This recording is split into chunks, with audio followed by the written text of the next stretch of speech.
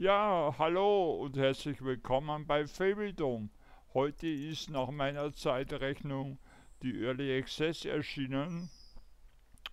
Und es ist ein recht ein nettes Aufbauspiel, finde ich zumindest. Ich habe es jetzt bei anderen gesehen, die hatten die Chance oder die Ehre, äh, schon ein bisschen früher das zu zeigen. Und mir hat es gefallen. Und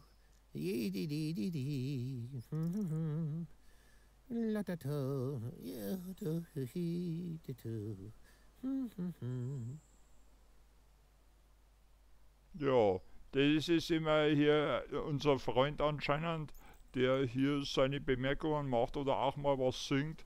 Aber ich würde sagen, jetzt schauen wir mal rein. Schauen wir mal rein ins Spiel. Oder am Anfang natürlich erst einmal äh, schauen wir uns erstmal die Karte an.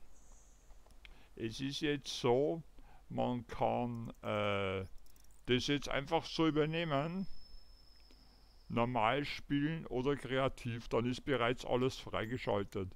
Wir wollen natürlich hier normal spielen, würde ich einmal sagen, und man kann auch seinen eigenen Seed hier eingeben oder einfach mal was anderes ausprobieren, bis es einem passt. Und da könnte man natürlich jetzt einmal hier Trikur nehmen. Reichsgröße mittel, Berge wenig, Wald dünn. Okay. Wald normal, Reichsgröße groß, Berge viele. Ja, ich will ja nicht viele Berge haben. Da machen wir es so, äh, hier in Drehbahnhohe. Ich bin ein Prinz, suche eine Prinzessin. Natürlich geben wir unseren Namen ein, ist ganz klar. Und da fangen wir auch schon an. Ich würde sagen, das passt so. Fangen wir hier unten an und können uns vielleicht dann hier ausbreiten. Wie gesagt, ich habe nicht die großartige Ahnung. Wir sind jetzt in Drehbahnhohe. Können wir das anpassen? Äh, ja, wie wird man jetzt das noch benennen? Oh, äh, vielleicht sagen wir hier Germanien. Weiß ich nicht, warum es hier äh, jetzt so drehbar war. Ich gebe es einmal nochmal ein. Vielleicht bleibt es dann, wenn man startet. Ansonsten heißt es halt drehbar nur. Das passt dann schon.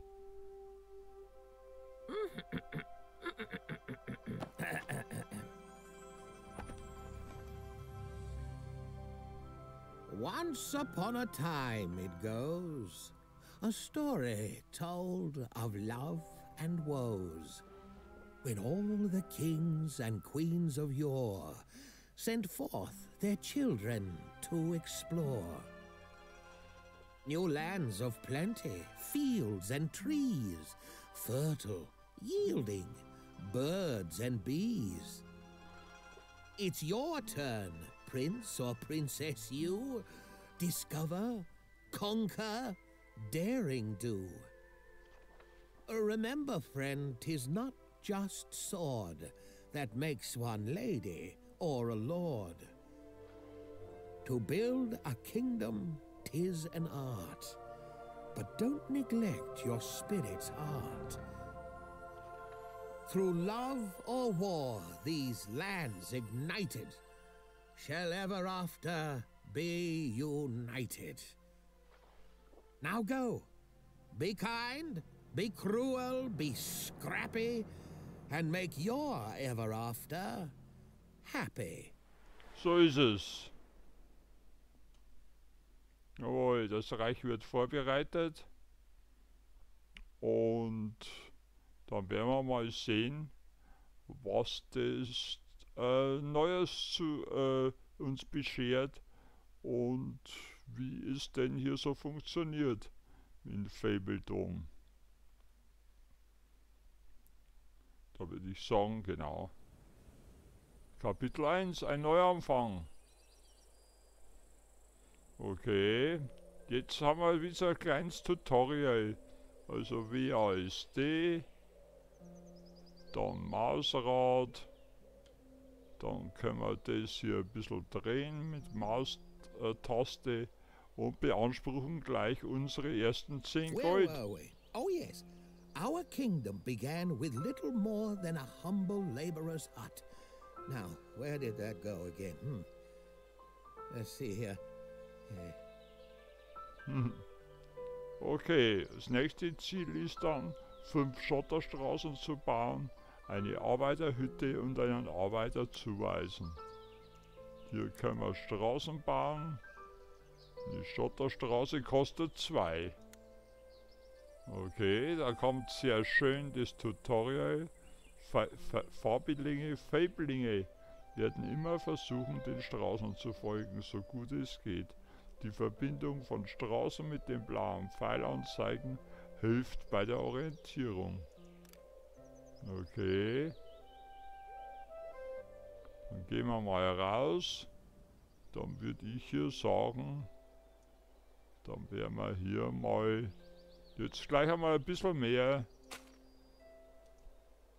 Okay. Oh. Ich wollte hier mit Escape hier wieder raus, aber dann kommt man gleich ins Menü. Und hier gleich natürlich eine Arbeiterhütte basteln. Machen wir hier gleich.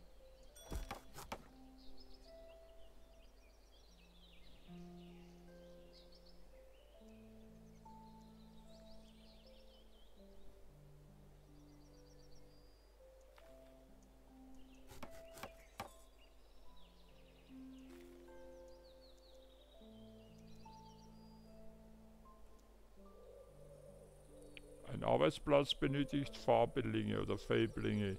Um zu funktionieren, könnt ihr Fablinge zuweisen, indem ihr den verfügbaren Platz mit Plus, Plus oder Arbeiter verwalten klickt. Okay.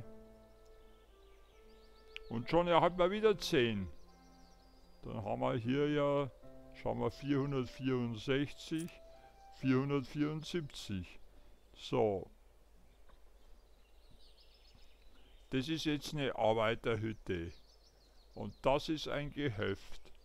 Dies ist die erste Wohnungsstufe, perfekt für die ländliche Gegend. Das machen wir weg. Äh, hier wird ein Familienoberhaupt benötigt, damit alles glatt läuft. Okay. Da braucht, das ist Holz, Steine, Gemüse. Baut ein Gehöft. Okay, einige Gebäude verfügen über Fundamente und Erweiterungen. Nachdem ihr das Gehöft platziert habt, haltet und zieht, um auch das Fundament zu platzieren. Erweiterungen werden automatisch platziert, diese Funktion kann aber auch deaktiviert werden, wenn ihr sie selbst platzieren möchtet. Ja, das würde ich mal sagen, das machen wir doch hier gleich daneben. Okay.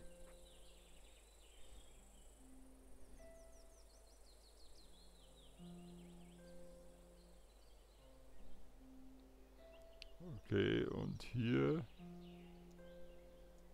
Ah, alles klar, würde ich mal sagen, das passt mir jetzt so. Und lassen wir bauen für 51. Schauen wir hier oben. Ah, okay.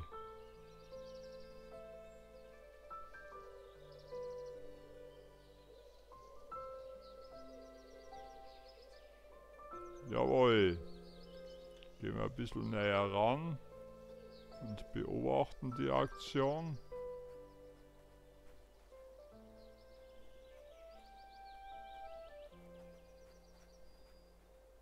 Tragen 5 Holz.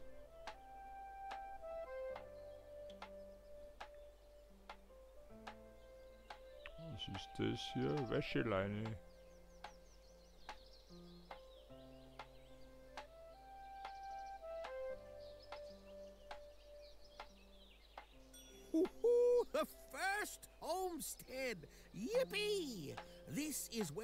Fablings live and eat. A head of household is required for the homestead to operate smoothly. Now, make sure one has been assigned, won't you? Okay, müsst ihr nur noch ein Familienoberhaupt ernennen.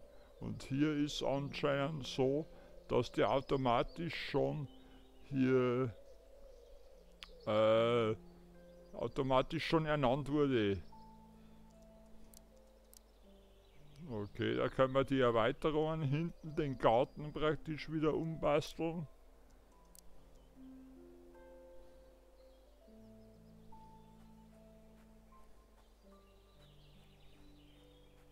Okay, passt anscheinend. Okay, das wären die Sachen, die neu sind. Da holen wir uns die 10.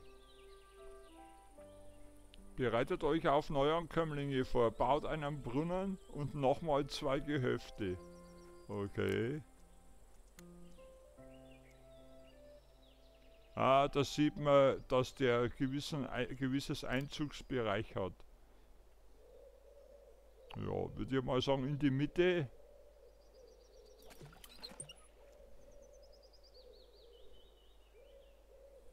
Manche Gebäude sind auf Erhaltung angewiesen. Über Münzsymbolen ober am Bildschirmrand könnt ihr sehen, wann die nächste Zahlung fällig ist. In ein Tagen, also praktisch zwölf Steuern. So, jetzt sollen wir nochmal zwei Gehöfte bauen.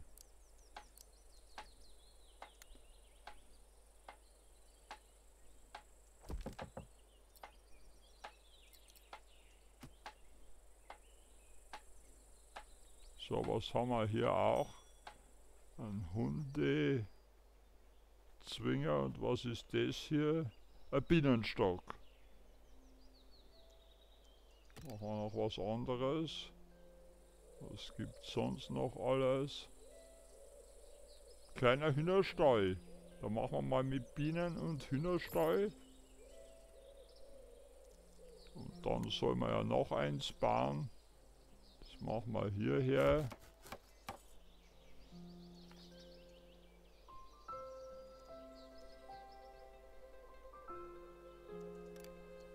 Oh nee. no, I really like that building. Ja, aber wir sollen ja Gehöft bauen.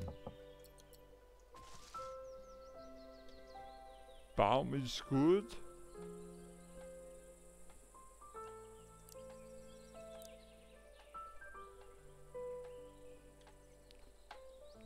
Dann machen wir doch das so.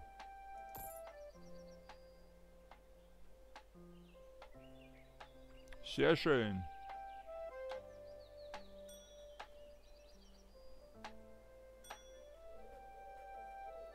Bienenstock. Und jetzt kommt hier der kleine Hühnerstall. Ja, das ist ja wirklich toll. Das gefällt mir. Ah, finally. Here come our first newcomers. As long as you keep your population happy, more will want to join. No. As long as there is room, of course. Welcome, welcome. Ja, welcome. Schließen wir das mal. Alle zehn Tage werden Besucher an eure Grenzen kommen, wenn euer Königreich attraktiv erscheint.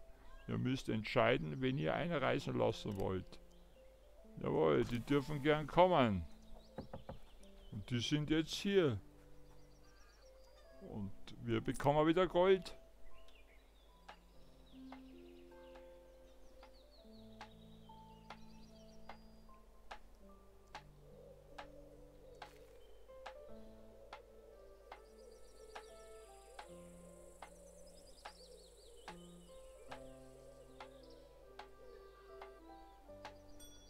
Wirklich putzig. Jetzt ist hier noch keiner. Wahrscheinlich erst, wenn der Garten auch komplett fertig ist. Okay, natürlich haben wir die Leute nicht. Können wir jetzt einmal eine Straße bauen.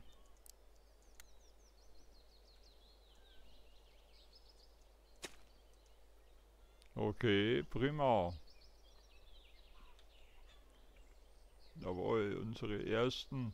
Äh, was ist jetzt das hier?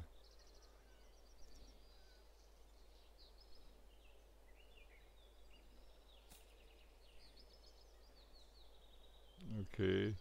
Also praktisch das ist das Gebäude von einem Arbeiter. Gut, im Moment braucht man anscheinend bloß einen Arbeiter, dann ist das in Ordnung. Holzfällerlager, Dekorationen, Bahnhof, Sammel Gemüse, Weizen, beschäftigt drei Landsmänner oder So, dann wo stellen wir den Bahnhof hin? Ich würde sagen einfach einmal oder hier. Hm, ist ja egal.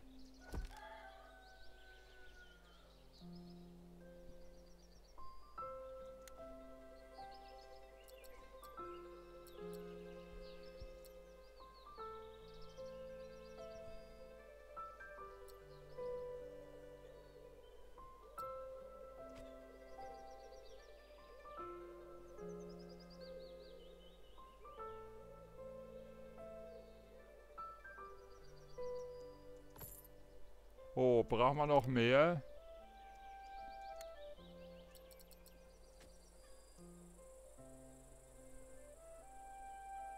Brauchen wir immer noch mehr? Jetzt haben wir es.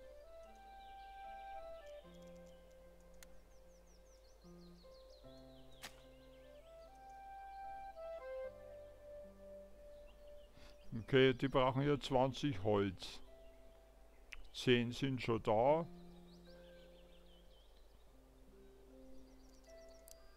Machen wir das mal zu. So, jetzt schauen wir mal Zufriedenheit. Sechs Leute haben wir und für drei haben wir noch Platz. Das ist schon mal nicht schlecht.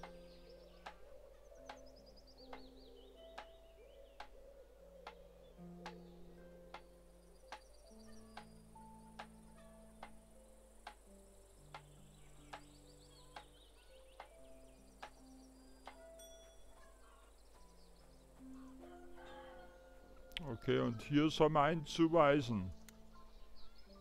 Okay. Da bekommen wir 25.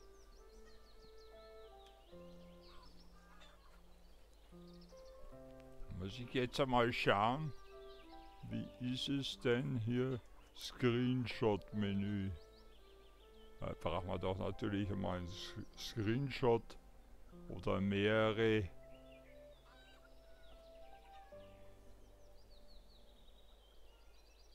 Okay.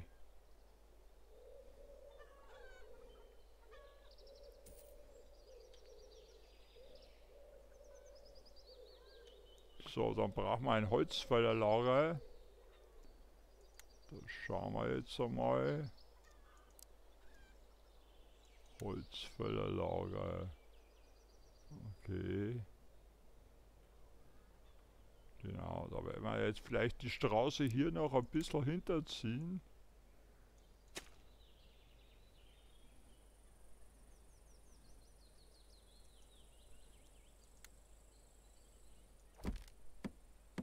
Und kostet natürlich auch wieder.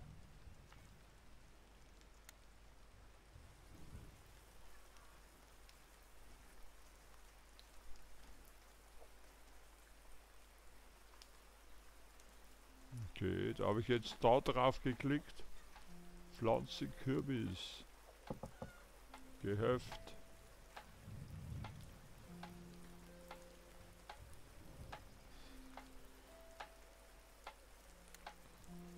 Hier gibt es auch Dekorationen, da gehen wir mal komplett drüber, damit das Ausrufezeichen weg ist.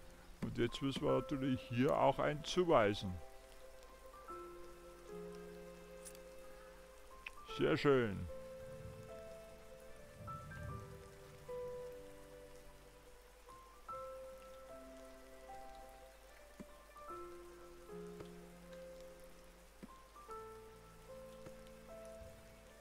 So, schauen wir mal, wo wird hier gefällt. Auch da.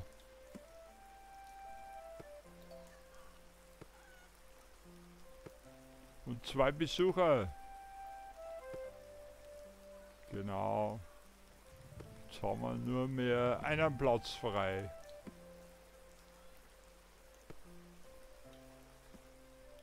Dekorationen soll man noch basteln.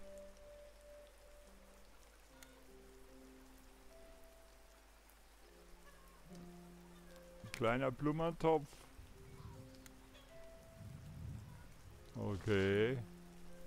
Sehr schön. Dann ein Busch.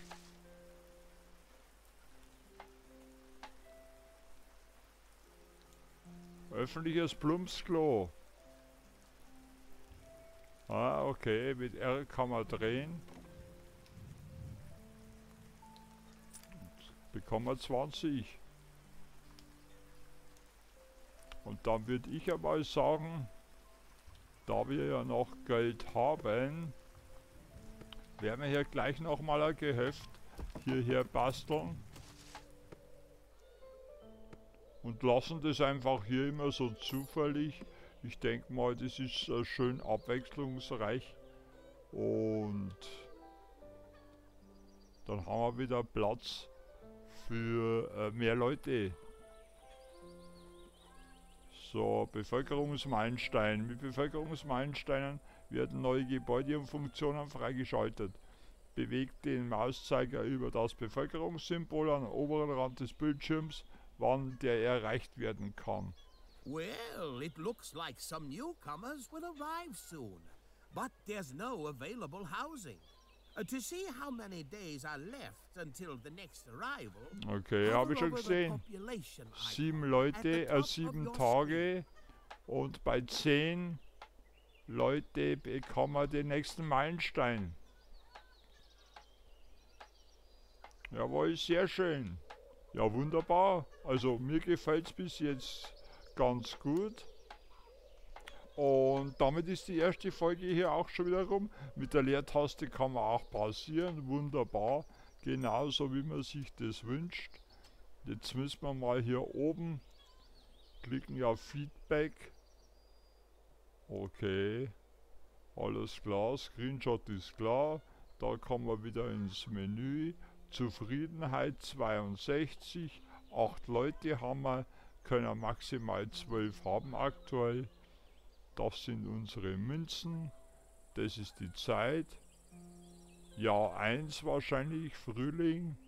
Wir haben 135 Holz, 40 Steine und 90 Gemüse. Und hoffen wir mal, gehen wir mal hierher, dass die natürlich jetzt weiterhin anpflanzen arbeitet in einem angenehmen Tempo. Sehr schön, okay, alles klar dann.